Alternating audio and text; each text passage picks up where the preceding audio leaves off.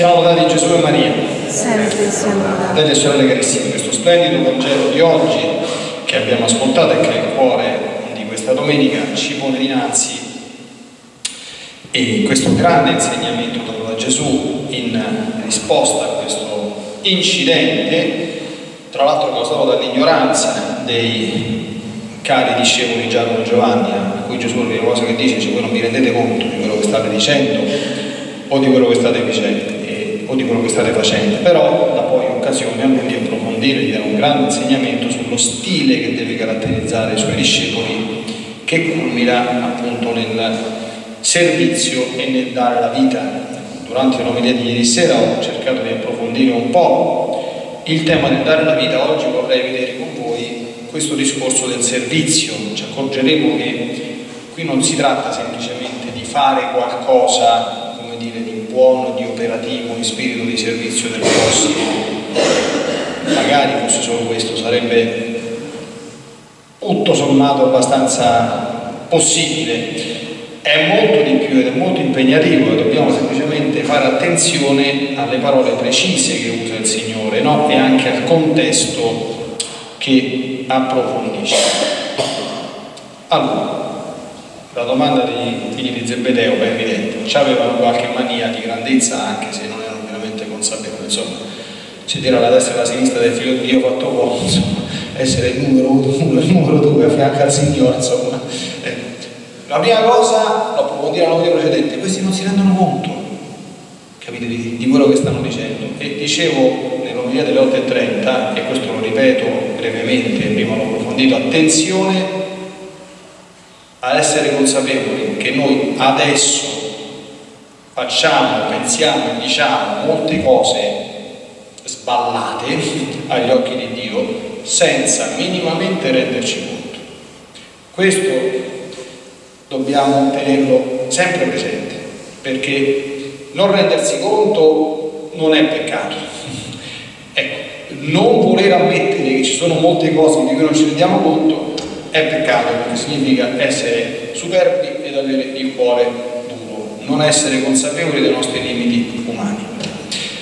Ora, ciò che era insito in quella domanda era appunto questo spirito di dominio e di sopraffazione, che è proprio il contrario del Vangelo, quindi mettersi al di sopra degli altri. Voi sapete che mettersi al di sopra degli altri configura il vizio capitale della superbia, a cui quasi nessuno fa caso e che caratterizza anche molti rapporti interpersonali.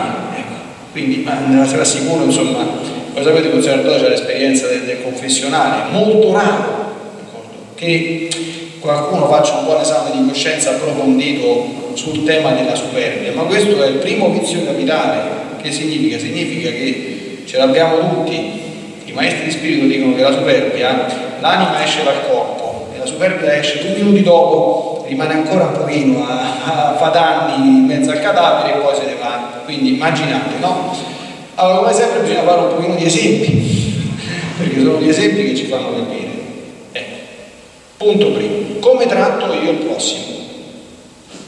Perché questo è un punto fondamentale. Gesù dice, attenzione, servi se volete essere grandi, ma se volete essere veramente il numero uno, gli schiavi di tutti allora, proviamo un attimo a calarci, noi oggi non li vediamo, grazie a Dio, più gli schiavi, no? Però più o meno lo sappiamo come campavano gli schiavi.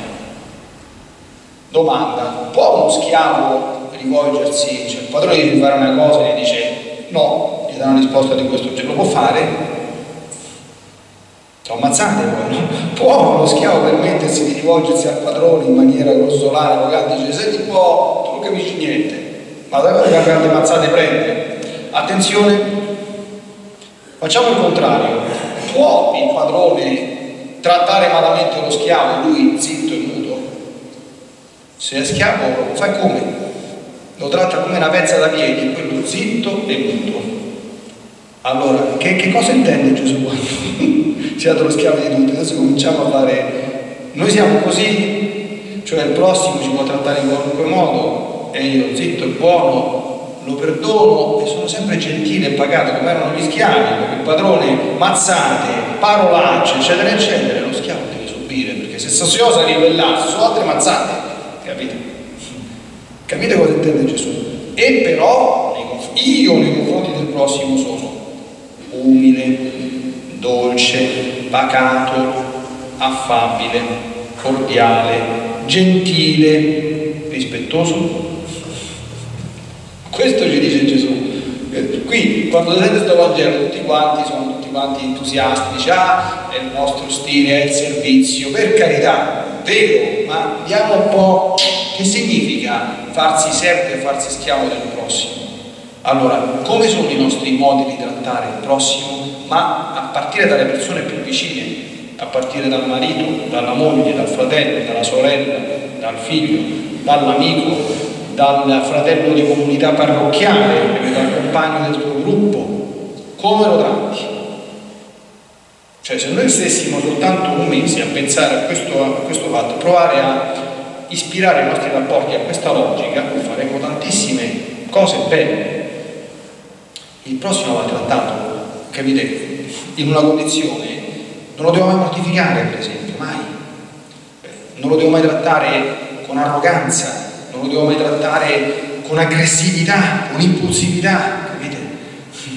Non devo mai far sentire una persona che mi sta vicino a uno stupido, uno che non capisce niente, capite? Anche se, facciamo ammesso un concesso, veramente stupido ci fosse, non capisce niente sul serio, capite? Ma io non lo devo far sentire così, altrimenti pecco e pecco brutto, capite? Cioè quante ferite che noi diamo a chi ci sta vicino è vero che molte volte una persona che ha questi stili, e questo ve lo dico da, da sacerdote, no? per questo non dobbiamo mai, mi raccomando, eh? qui stiamo facendo discorsi, come dire, teorici, oggettivi, non giudichiamo mai nessuno, perché quando vediamo una persona che ha per esempio uno stile aggressivo, arrogante, superbo, devi sempre pensare che tu non hai idea di quello che si porta dietro una persona così, perché questo è stato sicuramente trattato, umiliato, mortificato per una vita e quindi reagisce in questo modo, perché guardate che ordinariamente, adesso non voglio mettermi a fare insomma, una seduta psicologica, ma l'uomo tira fuori da sé semplicemente quello di cui è pieno, quello che ha ricevuto. Ecco, è chiaro che quindi non giudichiamo nessuno, ma prendiamo queste cose per farle nostre. Quindi l'essere schiavo dice ancora di più dell'essere servo, quindi l'essere servo è uno stile del mettere la propria vita umilmente a servizio del prossimo. Eh, ma l'essere schiavo proprio eh, denota una modalità di rapportarci di questo genere. Perché fare questo? Gesù non è che si può dire le cose. Che cosa fa Gesù con noi? Come tratta Gesù un'anima? Come la avvicina al Signore? Cioè, la delicatezza, la bontà, il rispetto anche che c'è Gesù. Pensate a quanto Dio rispetta la nostra libertà. Io per esempio, eh, a proposito, invito tutti quanti a leggere, l'ho scritto anche sul bollettino, il nuovo scoletto che ho fatto per quanto riguarda la comunione. Sapete io quante volte pensando alla comunione, alla presenza di Gesù nell'Eucaristia, ma ci rendiamo conto cosa significa che Dio si fa, si nasconde dietro una materia inerte io ci posso fare qualunque cosa, capite? Sta messo nelle nostre mani, la posso prendere, sbatta al muro, cioè uno può fare una comunione, capite, stante in una condizione assolutamente inadeguata, capite? Stante stato di peccato gravissimo, non è che, che nessuno ha, se uno PS alza per fare la comunione, lo sa lui quello che si porta dentro, dentro il cuore, no? E però, capite, Gesù entra dentro un'anima che si, che si trova in questo modo, si lascia fare una cosa di questo genere, capite? Pensate a tutti quanti gli scandali che si vedono adesso in giro, pensate a una persona purtroppo che fa una cosa di questo genere e sale sull'altare, ma che cosa gli dice il cuore al nostro Signore? Lui sta zitto, buono e muto e si fa fare tutte queste cose. Quindi non è che ti dà un insegnamento, dice eh sì, io faccio schiavo di tutti, parli bene. Lui lo fa tutti i giorni, non l'ha fatto soltanto quando era morto in croce, lo fa in continuazione. Capite? Quante volte si passa davanti al Santissimo Sacramento questo guardate che capita con frequenza, proprio in stato di assoluta indifferenza. Cioè, in molte chiese si chiacchiera, si parla tranquillamente come se fosse in salotti, ma oh, lì c'è sta Gesù Cristo, capite? E Gesù Cristo sta lì zitto e buono e muto, potrebbe uscire dal tabernacolo e fa un bello strillo, ma non lo fa. Perché? Perché vuole che tu che sei una persona libera e intelligente, che dovresti avere un pochino di fede, ci arrivi da solo a capire che quando passi davanti al tabernacolo, siccome quello è Dio, bisogna piegare le ginocchia, ma lo devi fare volontariamente tu, se non lo fai peggio per te. Ci devi arrivare tu che se stai a casa di Dio, a casa di Dio si parla di Dio e si parla con Dio, non si parla degli affari tuoi, non si fa lo schiamazzo, non si fa il mercato.